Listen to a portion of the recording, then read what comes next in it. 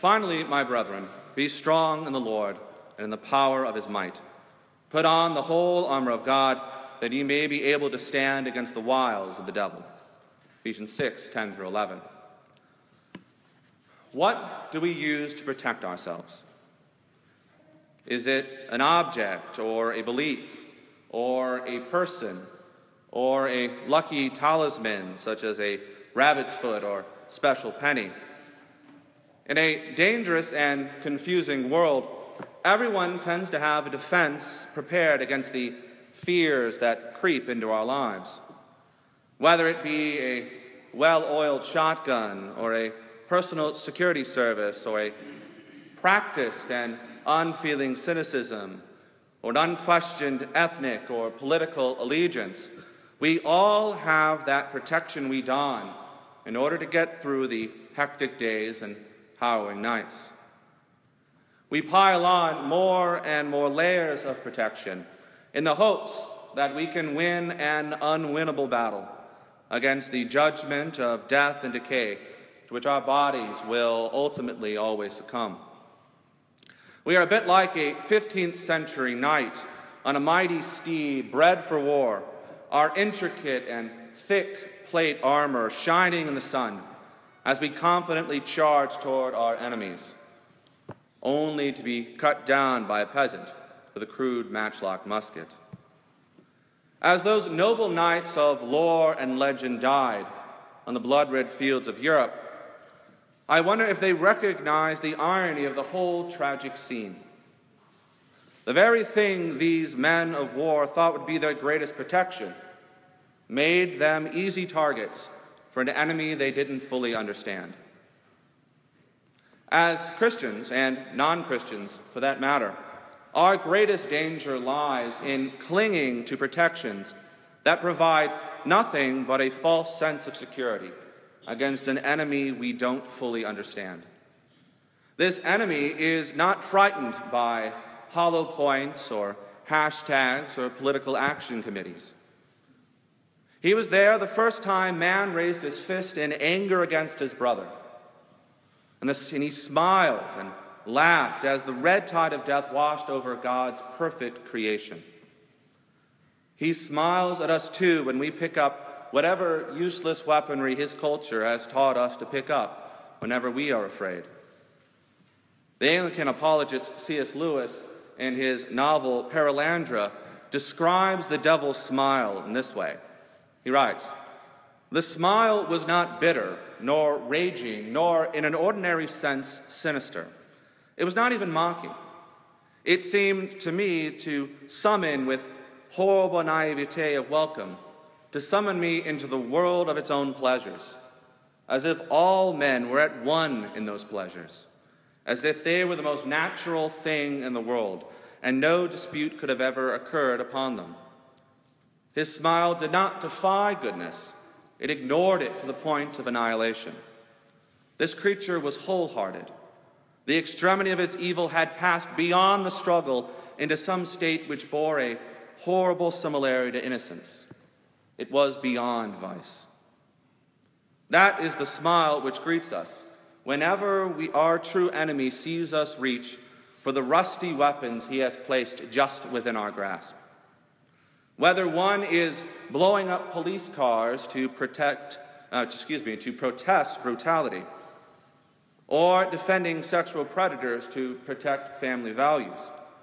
Whether one is sending checks to Planned Parenthood to promote healthy living, or closing one's eyes to ignore the plight of the poor and the widowed.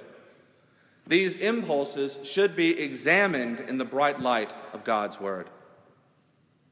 These weapons, in fact, should be cast aside and replaced with the true protection that can only be granted by the God who first wiped the smile off of Satan's face, the God whose beaming countenance will light the new heaven and the new earth, the God who gives us his armor to stand firm against the assaults of all of our enemies. In today's excerpt from St. Paul's epistle to the Ephesians, we see an astonishing call for unity and perseverance in the face of temporal and spiritual persecution. The letter as a whole overflows with assurances from the apostle that the victory over sin and death has been accomplished by Jesus the Messiah, and that our victorious King will protect all those whom the Spirit has made alive and new. In fact, a new society within the fallen world has been created, and that society should serve as an embassy for the new heaven and the new earth that is coming. To paraphrase Anglican theologian John Stott, we are to be a people united in fellowship, diverse in spiritual gifts, pure in living, and harmoniously self sacrificial in our domestic lives. Unity, diversity, purity, and harmony. This is what a stranger should see when they peer into a Christian church or a Christian home. What makes this witness hard is our personal weakness and the enemy ready to take advantage of it. St. Paul writes Finally, be strong in the Lord and in the strength of his might. Put on the whole armor of God, that you may be able to stand against the schemes of the devil. For we do not wrestle against flesh and blood, but against the rulers, against the authorities, against the cosmic powers over this present darkness, against the spiritual forces of evil in the heavenly places. Ephesians 6 10 through 12. Notice that St. Paul does not tell us to be strong in ourselves, or look to our ethnicity or political ideology or whatever band aid seems more real for us than the assured hope of the cross and the resurrection. In fact, the word translated as strength here is the same as we find in verse 19 of chapter 1, in which the apostle is describing the very strength that raised Christ from the dead. The question becomes if one has access to the mighty God who reigns over life and death, why would one trust in any other strength? The answer is because we are weak and we are poisoned by an enemy we don't fully understand. As an example of our lack of understanding, a recent survey commissioned by the well respected Ligonier Ministries found that the majority of American self identified Christians are logically inconsistent heretics who know very little about the Bible or the faith they profess to follow. I'll put the full results on our church website, but some of the highlights are jarring enough. The survey found that 64% say that God accepts the worship of all religions. 74% say that small sins, whatever that means, do not deserve eternal damnation. Over half of the people surveyed, including 70% of evangelicals, described Jesus Christ as a created being. Sorry, St. John. Other results show a complete breakdown of any kind of objective moral purity. Sleep with whomever you want, abort your unwanted children at will. A full 60% say there is no hell, and another 60% say we are all going to heaven, a heaven being whatever one wants it to be. The problem with all of these answers is that they directly contradict the witness of the New Testament, a witness these people say they use to guide their lives. When pressed by a pollster, people fall back on what they know and what they know is what the culture has taught them is acceptable to believe. That is a tragedy, and an explanation why so many are confused and lost. We are entering the era of a post Christian America, and we are brandishing a puppy in a knife fight. The small and painful and embarrassing ignorance shown by our fellow Americans and co religionists reveals how ill prepared we are to face the real threat posed by the supernatural forces described by St. Paul. We see that this organized evil attacks us directly and through various proxies because the Church of Christ is the great force for good in the world. Evil exists to oppose us and to oppose the God we represent. Every other conflict in the world is a sideshow to the great conflict between Satan and the church. Do we actually believe that? Or do we functionally prioritize pretty much every other conflict in our lives above the great struggle in which we are called to stand?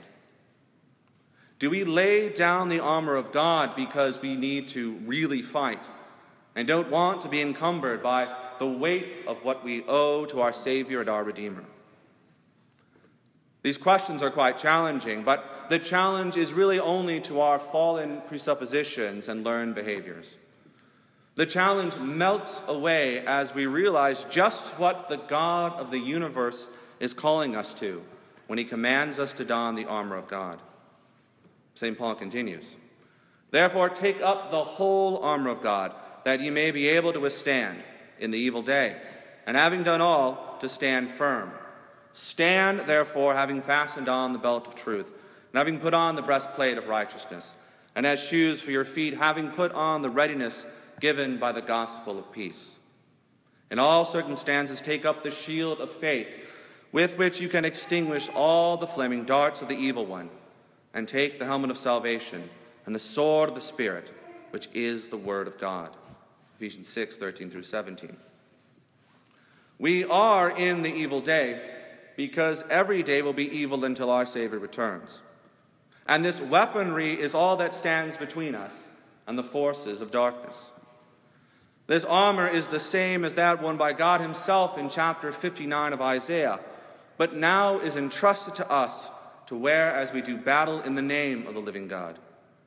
We battle for the souls of our neighbors by standing firm in the power that raised a glorified Christ from his tomb. We wear that power. We are surrounded by that power.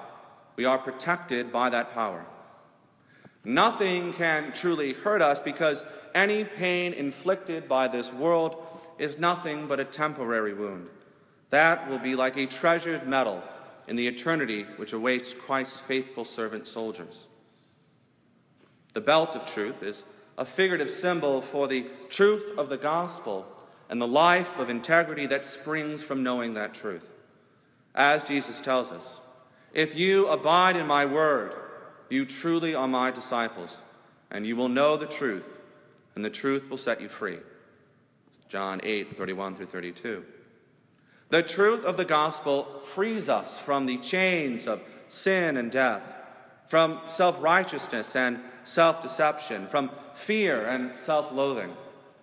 By living in the truth we can only find in the Word of God, we are free to live lives of integrity and sincerity, where we no longer fear to tell the truth because what consequences may follow do not scare us. For no consequences can harm us because there is nothing the world can do to shake our eternal destiny. What freedom that truth brings. What light it shines in the dark recesses of our society, in the dark corners of our own souls. Next is the breastplate of righteousness.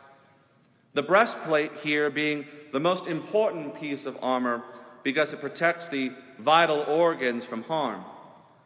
Here, St. Paul is speaking of both the righteousness of God, freely given to all those who truly believe in Christ Jesus as well as the holy life which is lived in gratitude for this justifying act. All true Christians are clothed in the righteousness of Christ through the great exchange of our sin stained rags for this shining protection against all the slanders and deceits of the devil.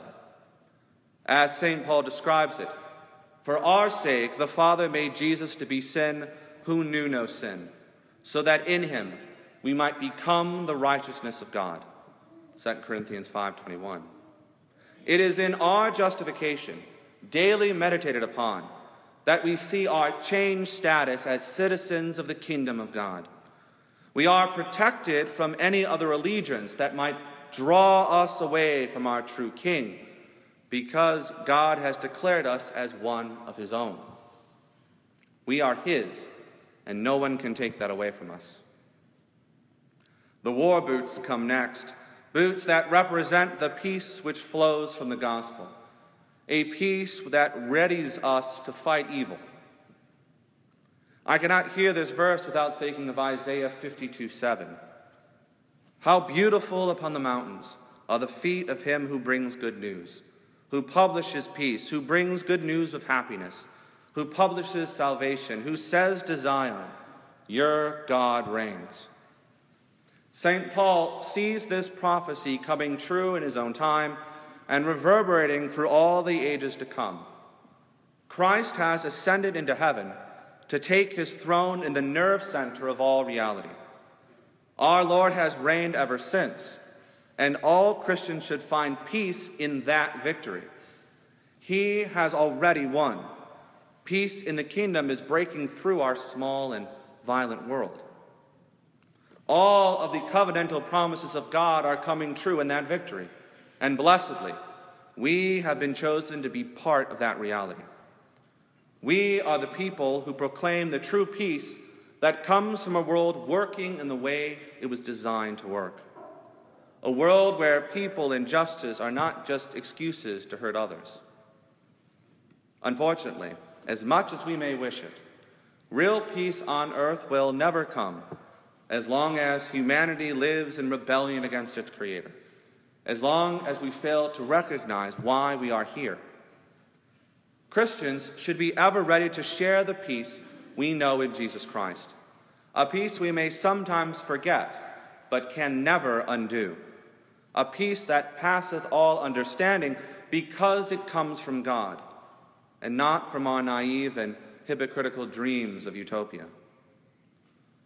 The Roman shield envisioned by St. Paul was a large wooden protector about the same dimensions as a front door and its shape and materials were specially designed to be effective against flaming arrows. This shield represents the faith or trust a Christian must have against the fiery temptations which constantly attack us. For most people, do not abandon the faith because they find it unreasonable. There are plenty of things we all believe in that we can't exactly explain. More and more people are trusting their very lives to increasingly complex cellular phones that might as well work by magic given our inability to explain their operations. Or what about the complex algorithms that are making more and more of the decisions in our world? These complex mathematical processes that even their designers can't fully explain decide everything from how much your house is worth to what stocks your mutual fund should buy and sell. We have blind faith in all of these things every day. We trust they will work, and we live our lives standing on that faith. No, most people do not abandon the faith because they find it unreasonable. They abandon the faith because they like sinning.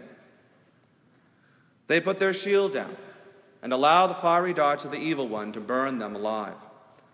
Sadly, as we sin more and more, we need greater and greater stimulants to get the same kind of addictive feeling sin provides. The burn goes deeper and deeper until we become an exposed nerve, living for nothing for the next opportunity for stimulus. To be fair, that is the right way to live if we have no hope. If all we have is the next bit of pleasurable impulse, and then we eventually die and cease to exist, then there really is no reason to care. As the nation moves to a post Christian status, we see this dystopia developing. As the country becomes more atheistic, we're not getting Star Trek, we're getting an idiocracy.